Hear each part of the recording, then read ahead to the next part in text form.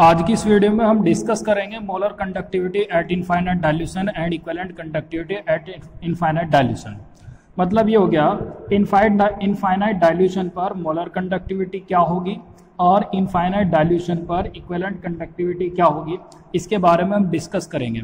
तो देखिए, जैसा कि हमने लास्ट वीडियो में पढ़ा था, यानी जो पिछली वीडियो थी, पिछली वीडियो में हमने ये पढ़ा था कि अगर हम किसी सॉल्यूशन की डाइल्यूशन को इंक्रीज कर देते हैं तो उसकी मोलर कंडक्टिविटी और इक्वेलेंट कंडक्टिविटी दोनों की वैल्यू इंक्रीज हो जाती है। ठीक है ना? और जो डाइल्यूशन होती है वी वो हमेशा कॉन्सेंट्रेशन के रेसिप्रोकल होती है। डाइल्यूशन वी क्या होती है? हमेशा कॉन्सेंट्रेशन के रेसिप्रोकल होती है। पिछली वीडियो में मैंने अभी आपको बताया, फिर एक बार रिपीट कर देता हूँ मैं यहाँ पर। तो पिछली वीडियो में मैंने आपको बताया था कि जो मॉलर कंडक्टिविटी होती है और इक्वेलेंट कंडक्टिविटी होती है, वो कॉन्सेंट्रेशन या फिर डायल्यूशन में चेंज करके चेंज हो जाती है।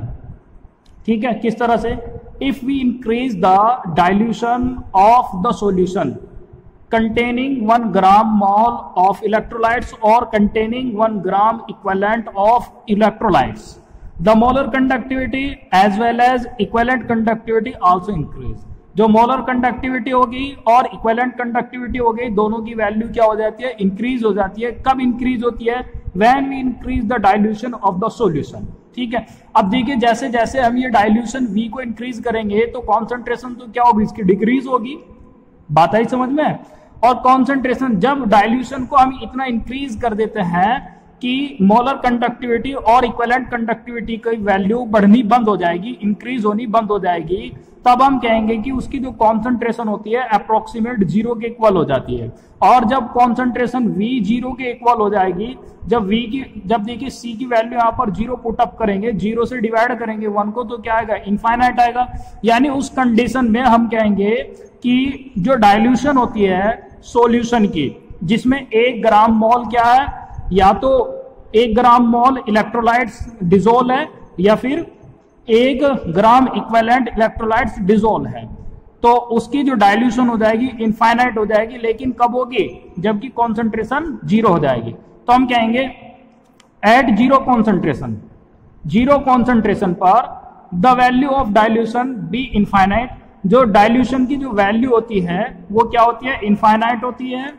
इस कंडीशन में ही जो मोलर कंडक्टिविटी होती है is known as the molar conductivity at infinite dilution and equivalent conductivity is known as molar equal equivalent conductivity at infinite dilution and these are denoted by lambda M infinite molar conductivity को denote करेंगे हम lambda M infinite से, और equivalent conductivity को denote करेंगे हम lambda ई से simply हम डिनोट करते हैं। लेकिन यहाँ पर इनफाइनाइट डाइल्यूशन है तो इनफाइनाइट डाइल्यूशन को हम क्या कर सकते हैं? ऊपर डिनोट कर सकते हैं।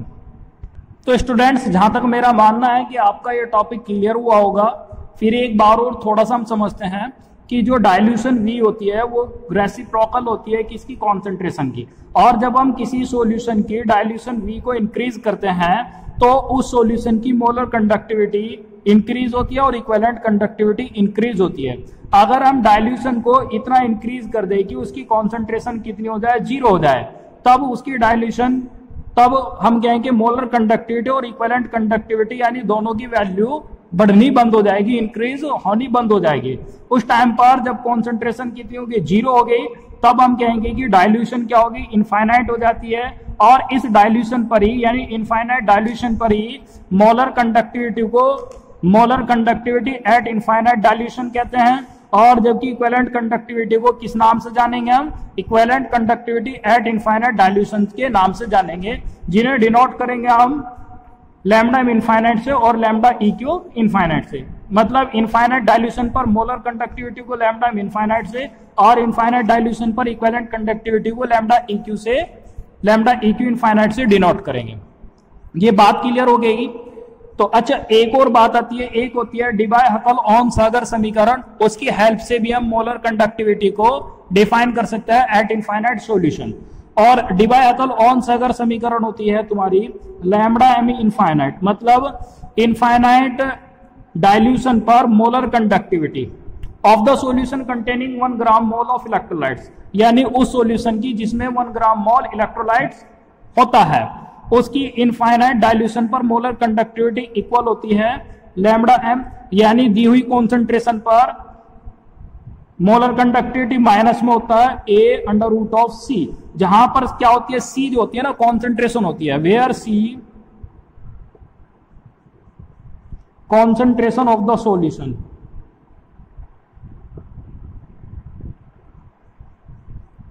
अच्छा अब इससे बात थोड़ी सी क्लियर होती है।